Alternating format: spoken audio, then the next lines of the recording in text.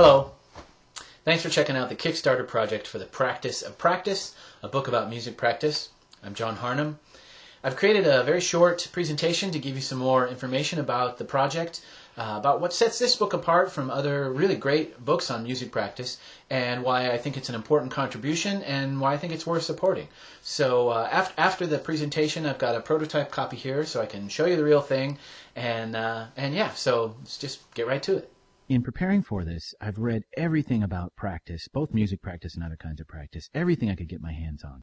All of it was focused only on Western European classical music kinds of practice. All of it.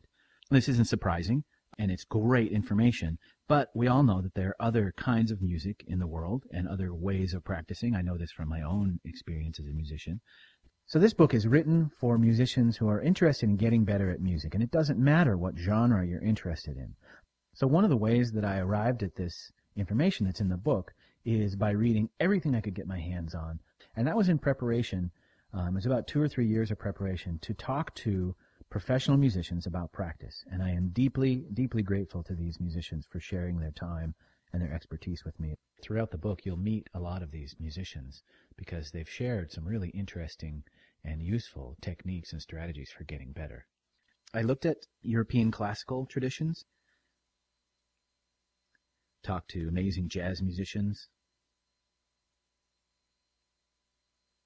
talk to pop and folk musicians,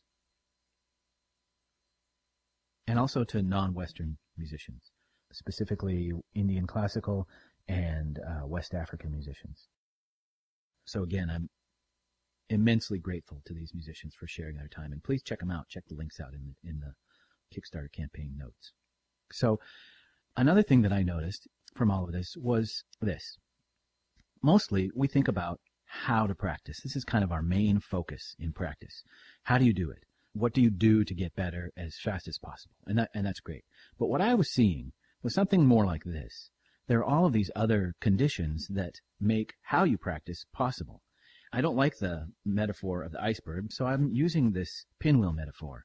And when a pinwheel, like practice, when a pinwheel is in motion, all of the colors blur together, you can't see the edges and you can't really see how it works, but when you stop it to take a look at it more closely, you get something that looks like this. This is how the book's organized. Those sections are explained in more detail in the notes below this video, as well as all of the chapters that are in the book. Each blade of the pinwheel, there's six of them, has a particular focus in the practice. Let me take you real quickly through them. There's what. This is definitions of practice. Also in here is what music practice does to the brain uh, and why that impacts how you practice. The next is why. This has one of the most important chapters in the whole book, and this is all about motivation. Very important because if you don't have motivation, you're not going to practice at all. The next section is who, and who uh, means you, yourself, things that you do, things that you believe, and approaches that you have that affect how you practice, but also other people, teachers, peers, idols, those sorts of people also have an impact on your practice. Next is when, and when is issues of time. So how much, what time of day, how much is too much, how little can I get away with and still get better, those sorts of things. Another part of the when is developmental. Practice looks different for a beginner than it does for an expert, which makes sense, and I'll go into that in a little more detail in this section. Next is where, and where has two parts too. Uh, one is the actual practice space itself, uh, what works, what doesn't, and why, and how you can make a good practice space. And the other where has to do with context, um, people and music and things that surround you that have an impact on your practice. And lastly is how. This is the longest section of the book. It's uh, three times longer than the next longest section. I think at this point there's 18 chapters.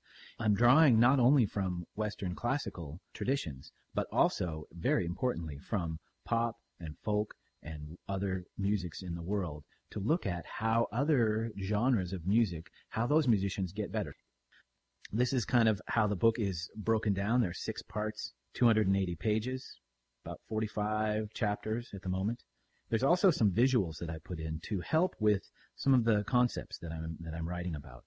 I love learning visually. I know other people do too. So this is partly just to, to make that information sort of come alive and to give you another way to sort of grab a hold of it. Another thing that makes this book unique is what I've called extensions.